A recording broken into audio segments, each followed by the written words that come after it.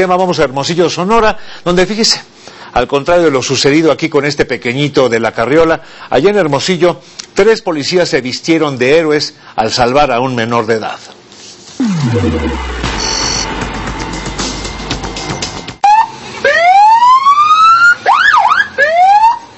Cuando los agentes José Jesús, Alejandra y Martín Orlando abordaron la patrulla 771 para iniciar su jornada, nunca imaginaron que sus conocimientos de primeros auxilios le salvarían la vida a una bebé de siete meses. Alexa María perdió los signos vitales al ahogarse con la leche.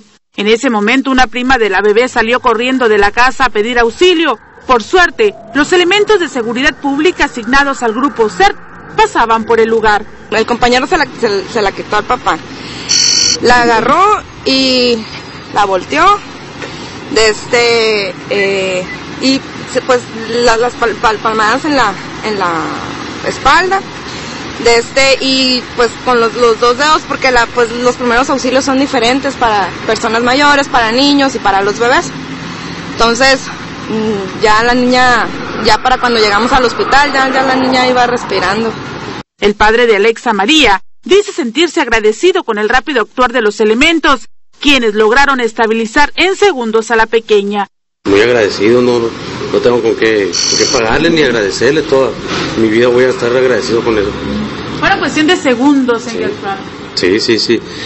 Y si no hubiera sido por ello, créanme que no, ahorita la niña no estuviera aquí. Pues fue algo que pues, estuvimos en su camino nomás, y parte de nuestro trabajo y es nuestra labor. Los conocimientos adquiridos de primeros auxilios durante su preparación hoy rindieron frutos y la pequeña Alexa hoy se encuentra en los brazos de su familia. En tanto, los agentes Martín Orlando Coronado Camacho, Alejandra Ramírez Velarde y José Jesús Hoyos González continuarán con sus recorridos de vigilancia. Con imágenes de Carlos Fernández, Cinti Limón, Noticias Telemax.